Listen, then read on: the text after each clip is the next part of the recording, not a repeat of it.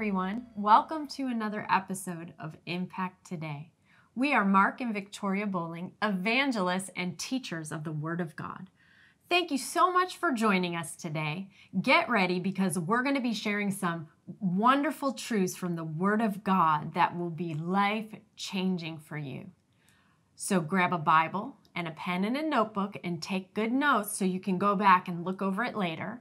And we also want to encourage you to visit our website at globalimpactministries.com. When you go there, there's a link you can click on that will take you to all the episodes of Impact Today. You can also click on a link to subscribe to our podcast if you'd rather just listen to the messages. So, before we get into the teaching today, Mark, do you have a miracle testimony to share with us? Amen. Yes, I do. Should always have a testimony. Amen. Hallelujah. So, um, again, we just came back from Asia and just preaching the simple gospel that Jesus took our place on at Calvary and uh, on the cross of Calvary. And there was a, a man there. Actually, I saw him in the crowd. I saw him when we prayed the Mass prayer. I saw him put his hand over his ear. Mm. And um, when we asked for testimonies, he came up immediately and informed us that he had been, in his words, completely deaf in that one ear for 10 to 15 years. So he didn't know the exact amount, but it was minimally 10 years. And the Lord Jesus opened that ear. Hallelujah. That man was healed by the power of God. Jesus is alive today, Yes. and he still opens the ears of the deaf. He opens the eyes of the blind. He causes tumors to disappear. He is alive. Amen. Hallelujah. Praise God. Amen. Amen. So, what's today's episode about? Today, we're continuing about the subject of Christ crucified. We're laying a foundation. Uh, these uh, teachings that were given to you now are highlights from my book, A Strong Foundation in Christ. I want to encourage you to get your Bible notebook, like Victoria um, encouraged you already, but really write these scriptures down because a lot of the uh, the sessions here, we're just simply mentioning verses. You need to have pen and paper ready. Write it down, look it up, get it established in your heart. Because listen, we're living in a day where there's much false doctrine and deception going around. And you don't want that. You want your life to be strong. Amen. And the only way you can be strong in every area of your life, whether it's your personal life, your marriage, your ministry, or your business, is to have a strong foundation under your feet. These teachings that we're giving to you right now uh, highlight the truths about this strong foundation that you need, and it'll be a blessing to you. So, out, without further ado, we're going to go to the teaching now, and may it be a blessing to you. Sickness, disease came into the earth after man had sinned. Poverty, lack came into the earth after man had sinned. Every form of bondage, depression, fear, anxiety, guilt, shame into the earth after man had sinned. We had sinned. We were separate from God. We were guilty and we were deserving of eternal punishment. God had said, the day you partake, the day you sin, you will die. The wages of sin is death. But the good news is the gift of God is eternal life through Jesus Christ, our Lord. So, the sin of people, you need to understand that. Now, remember, in creation, if Adam and Eve were created without sickness and disease, if they were created without guilt and shame, if they were created without poverty and lack, if everything was good, that, that expresses what God's intent, what God's will is for you now. Hallelujah. If He wanted them sick, He would have created them with sickness, but He did not. They were created healthy. Amen. So that brings us now to the substitution of Jesus. Number one, creation of people. Number two, the sin of people. Number three, the substitution of our Lord Jesus Christ, which really this is the gospel message. Amen. 1 John 4 8 says that God is love. John 3:16 says, God so loved the world that he gave his only begotten son that whoever believes in him will not perish but have everlasting life. So God in his great love for you and me sent his son, the Lord Jesus Christ, to this earth. God the Son, or John 1 1 calls him the Word. In the beginning was the Word, and the Word was with God, and the Word was God. Verse 14, and the Word became flesh, dwelt amongst us. Hallelujah. You see, God needed a substitute. He needed someone who could die on our behalf.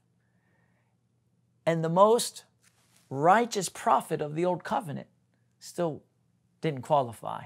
Moses had sinned, David had sinned, Ezekiel had sinned. Every man has sinned. All have sinned and come short of the glory of God. And so, if anyone was to die on our behalf, they wouldn't be dying on our behalf, they'd be dying for themselves.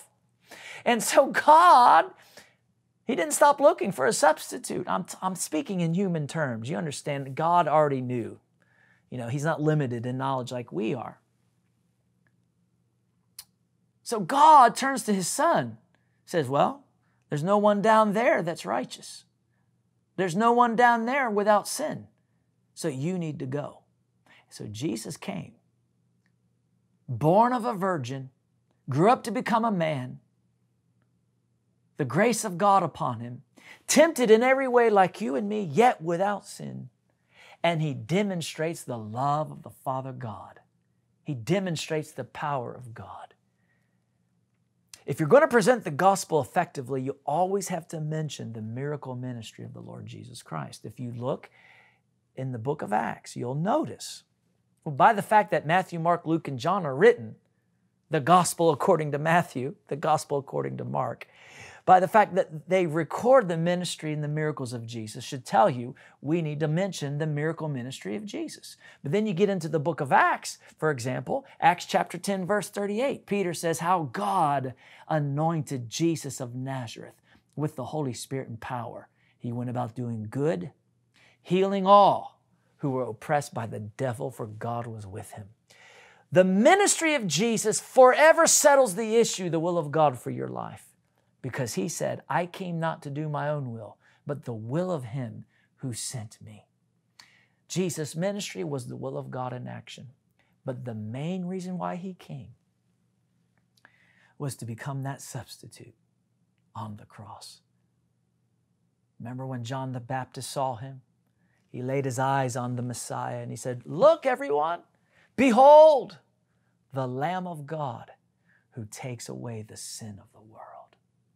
So Jesus goes to the cross and becomes our substitute. Listen to what Isaiah 53, verse 4 and 5 says in the New American Standard 2020 version. It says this However, it was our sickness that he himself bore and our pains that he carried. Yet we ourselves assumed that he had been afflicted, struck down by God, and humiliated. But he was pierced for our offenses, he was crushed for our wrongdoings. The punishment for our well being was laid upon him, and by his wounds we are healed. Mm. Jesus went to the cross and God the Father laid upon him all of our sin, our guilt, our shame, our transgressions, our iniquities. And with that, he laid on him our sicknesses, our pains. He was afflicted, he was struck down by God himself and humiliated, hanging naked on a cross with his flesh torn off his body from the, the scourging. But he was pierced for our offenses, crushed for our wrongdoings. Now, notice this the punishment for our well being was laid upon him. God wants you to be made whole spirit, soul, and body. Amen. This is the gospel message. Romans chapter 4, verse 25. I love this passage of scripture. Romans chapter 4, verse 25 says this Jesus was delivered up because of our offenses and was raised because of our justification. Amen. Notice, uh, you could say it like this Jesus was delivered over unto the punishment of death because of our sins. So, this is what's happening. Jesus is taking our place. He goes to the, the cross. God lays on him our sin. He's made sin. 2 Corinthians 5:21 says, "He who knew no sin became sin for us, that we might become the righteousness of God in him." Never forget it. Jesus took your place. Jesus bore your punishment. He endured your chastisement, suffered your penalty. Jesus paid for your crime he died for your sins. He paid your debt. He suffered your diseases. He died with all of that. And then he was buried. And he put all that away for us. Died with it, was buried with it, put it away, and then he rose again without it. But look at this other passage of Scripture Isaiah 53, verse 6. We saw verse 4 and 5. Listen to verse 6. All we like sheep have gone astray. We have turned every one to his own way, and the Lord has laid on him the iniquity of us all. Notice that. All we like sheep, we've all gone astray. We have turned every one to his own way. That's important you understand that. That's what iniquity is. It's going your own way. It's rebelling to what He wants and going your own way. I was trying to share the gospel recently to an older gentleman at a rental company. I was renting a car. My wife and I had flown into town to uh, actually uh, perform a, a, funeral for somebody. And uh, as I'm renting the car, I, I, we said goodbye to the man, but I, I stopped, I turned around and said, Sir, you know that Jesus loves you? And uh, he said, Yeah, I'm counting on that. I said, Have you been born again? Long story short, he said, Well, to each his own. To each his own. Notice what Isaiah 53 6 says. So he wasn't born again. He said he wasn't. And when I tried to talk to him about being born again, he said, No, to each his own. Notice what it says. We have turned everyone to his own way. It's iniquity. It's why Jesus went to the cross. Because everyone has this attitude, attitude to each his own.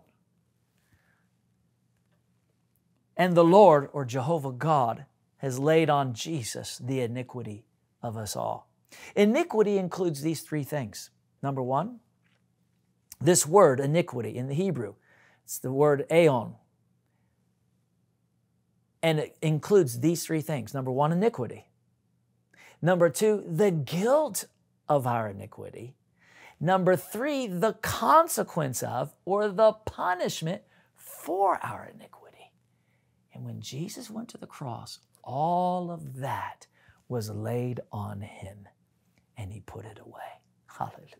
God the Father raised him from the dead through the Holy Spirit. And Christ was raised from the dead because of our justification or pardon. Listen to Romans 4:25 in the Amplified Bible. Listen to this. It says Christ was betrayed and crucified because of our sins and was raised from the dead because of our justification, our acquittal, absolving us of all sin before God. Hallelujah. So that when you stand before Almighty God, there's no sin. He sees innocence, He sees righteousness. That's the gospel. And it is the power of God unto salvation. Hallelujah. That's why I love Romans 1:16 because it says, "I'm not ashamed of the gospel of Christ. It is the power of God unto salvation for everyone who believes. Everyone. Salvation there means wholeness, healing, health, salvation, preservation. It's the big package of everything that the blood of Jesus purchased for you and for me. Everywhere we've gone, we've seen miracles. And when you go and take the gospel and you preach it in its simplicity, miracles will abound. Amen. You might be listening and you need a miracle now. Believe the gospel, call on his name. Miracles will abound. Let me tell you this story. I love this story. Uh, there was a, a family who attended one of our miracle festivals. They believed the gospel. They believed it. And their child, I think he's about three, about three or four years old, he had uh, been struck with polio as an infant. And therefore, his, one of his legs didn't develop. He was weak. He could not stand at all. And one leg was about an inch shorter than the other and just kind of hung there, just kind of hung. There's no stability whatsoever. But they heard the gospel, they believed it. But during the miracle festival, it, it, appeared to them that nothing had happened, yet it was living in their hearts. So after the meeting's over, about a four night meeting, I'm gone. They go to work, they come home, and in their little living space, they, st- they, they hold their boy up in the middle and they say, Stand in Jesus' name. You are healed by Jesus' stripes. They let go and he starts to fall down to the ground. They, hope they, they, they prevent him from falling. They tried that three or four times. Nothing seemed to happen. The second night, they did the same thing. Stand! Nothing seemed to happen. Third night, they did the same thing.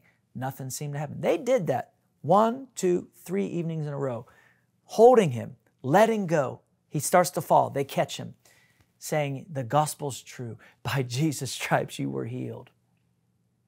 They go to bed. The fourth morning, they wake up, and that boy is standing in that room, healed by the power of God. Amen.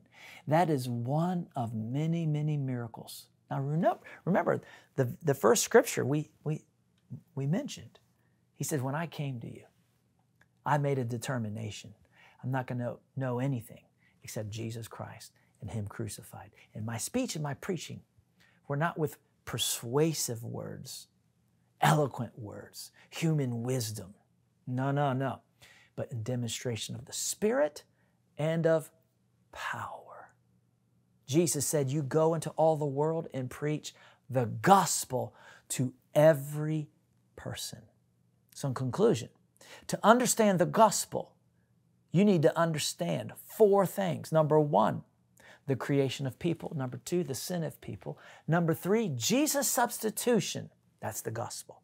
We just shared that. And number four, our restoration. So it's not just one, two, and three, it's also number four, our restoration. And that leads us to the next lesson, in which we'll begin talking about repentance from dead works. God, God bless you, my friend. Wow, that was really good teaching. Praise God. Amen. If you need to get right with God, if you need to accept Jesus Christ as your Lord and Savior and have all your sins washed away, Mark is going to pray with you and lead you in a prayer to do that right now. Hallelujah. Do it with all of your heart. Stop what you're doing. Either lift your hands as an act of surrender or just put your hands on your heart as an outward sign that you're praying with all of yes, your heart. Amen. And say this after me Dear God in heaven, Dear God in heaven, I acknowledge I'm a sinner. I acknowledge I'm a sinner. I need a Savior. I need a Savior. I believe. I believe. Jesus Christ. Jesus Christ is that Savior. Is that Savior. I call on the name of Jesus now. I call in the name of Jesus I believe in my heart. I believe in my he heart. He is the Son of God. He is the Son of God. He died for my sins. He died for my sins. He was raised for my justification. He was raised for my justification. And I confess him as Lord. I confess him as Lord. My Savior. My Savior. Dear Jesus. Dear Jesus. Come Come, live inside of me. live inside of me. I repent of sin. I repent of sin. Wash me clean Wash me clean in your holy blood. in your holy blood. Make me brand new. Make me brand new. I surrender my life to you. I surrender my life to you. I will follow you I will follow you all the days of my all life. the days of my life. in Jesus' name. In Jesus' name. Amen. Amen. Amen. Hallelujah. Hallelujah. My friend, if you prayed that prayer with all of your heart, I have good news for you. We announce to you that your sins are forgiven. Hallelujah. You're brand new. You stand innocent before Almighty God, and He loves you so much. Now, if you need healing in your body, I'm going to pray for you. So just close your eyes, lift your hands. Father, in the name of Jesus, we ask that you would touch the people and heal them from every sickness and every disease. We command every pain and every sickness to go from the people now in the mighty name of Jesus Christ. And we receive your healing anointing into our bodies now. We believe we receive. We thank you, God, for miracle life flowing like a river right now into all the people. In Jesus' name, amen. Amen. Praise God. If you prayed to receive Jesus Christ as your Lord and Savior, we want to invite you to call the number on your screen and let someone know what Jesus has done for you. And if you're experiencing a miracle in your body right now, give that number a call. We can't wait to hear from you. Hallelujah. God bless you. Have a great day. Hello, friends. We are very thrilled to offer this book that's now available that I've written. It's been a book that's been in my heart for many years now. It's called A Strong Foundation in Christ Living a Purposeful and Successful Life from Now into Eternity. It covers in detail the six foundational doctrines of our Lord Jesus Christ that's listed in Hebrews chapter 6 repentance from dead works, faith toward God, the doctrine of baptisms, the laying on of hands, the resurrection of the dead, and eternal judgment. But we go into detail about each doctrine. It will prove to be a blessing in your life if you read it and really put it into practice. It has more than 400 pages, but it is fast, easy reading unless you look up all the verses. It can be a book where you just want to read as you're laying in bed, or if you want to sit down at a desk and really study it, it will prove to be a blessing to you so that you can have a strong foundation under your feet in your walk with God. Buy the book today.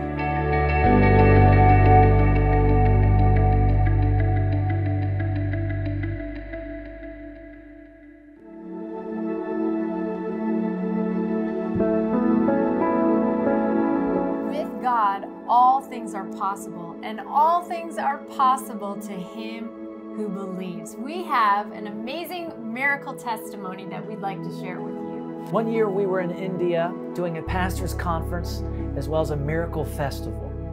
And in the morning time, before the pastor's conference started, this man comes into the, the sanctuary where we were hosting the conference with his one leg up high, jumping or hopping, you could say, hopping to the front using a stick all the way to the front. And he comes to me and he says, Can you pray for me? And I said, Well, actually, why don't you have a seat and wait till after I teach the word? Well, I end up teaching the word, but we didn't even teach on healing. We was talking about the baptism in the Holy Spirit and fire. And after I preached, we laid hands on all these pastors who wanted to receive the fullness of the Holy Spirit. But in that moment, I felt, I'm going to go lay hands on that man. And I laid hands on him in the name of Jesus. Everyone speaking in tongues, we, you know, I let them pray for a bit and then they stopped. And then all of a sudden, this man stood up and he said, Sir, when you laid hands on me, some cool substance came out of your hands and went into me. Said, Really? I said, Well, it was like he said, this coolness came into me and I'm, I feel fine. I said, What do you mean, do you feel fine? He says, I have no pain. I said, Are you saying you're healed? He says, Yes, I'm healed. I said, Well, take off your, your bandages right now and jump up and down. He took off his bandages and started jumping up and down right there on the spot. He had a broken leg. I said, I want you to come to the the crusade tonight and give us a testimony. He says, Nope, I'm not coming tonight. I'm going to the doctor. I'm going to get an x ray, and I'm going to come the next night with a before and after x ray. And sure enough, he did that. He was completely healed by the power of God.